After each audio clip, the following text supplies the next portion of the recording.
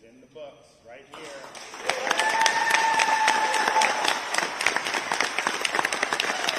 My signature in this bill will also impose uh, Florida law uh, on this area, just like it's imposed on Universal Studios and SeaWorld and all these other places.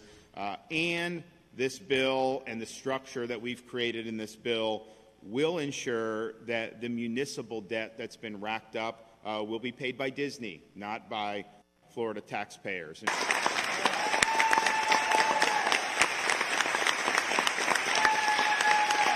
So Disney loses self governing status. The state of Florida is the new sheriff in town.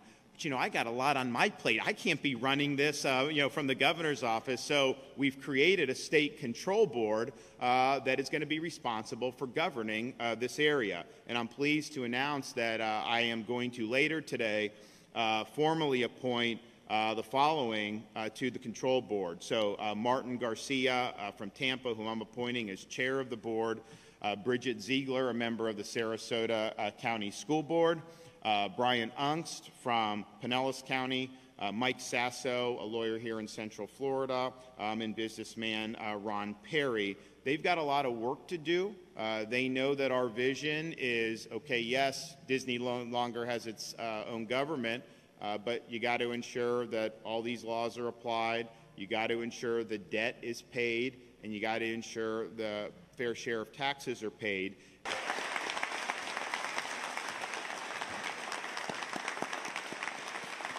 I mean, these are you know decades of subsidies and benefits that have really accumulated to kind of this one powerful company, and now we're basically just uh, on an even playing field. And what's good for Di- what's good for SeaWorld is good for Disney, and that's just the way it's got to be.